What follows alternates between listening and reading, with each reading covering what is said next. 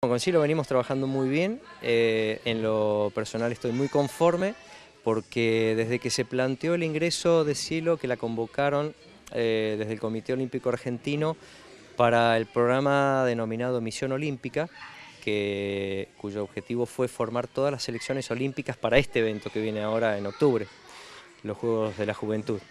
Entonces, desde el primer momento ella entró en un grupo de 50 gimnastas. Nos fueron trazando metas eh, desde el programa, a través de la Confederación Argentina de Gimnasia.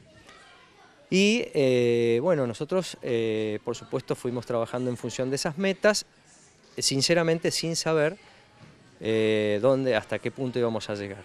Hoy, entonces, después de estos años, nos encontramos en la selección junior, es decir, ella es integrante de las cuatro gimnastas que integran la selección junior. Esto significa que es una selección formada por gimnastas de menores de 18 años que son las que están de cara a los Juegos Olímpicos.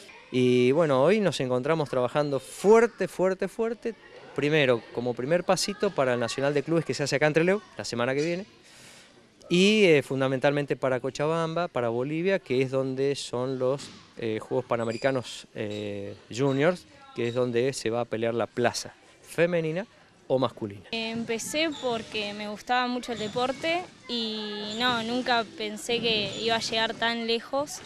Eh, fue una noticia cuando era re chica y como que no, recién ahora que crecí un poco, digamos este año, me doy cuenta de lo que es estar en un juego, o sea, seleccionada para un juego olímpico juvenil. Eh, hago solamente trampolín, que es el único deporte de gimnasia acrobática olímpico.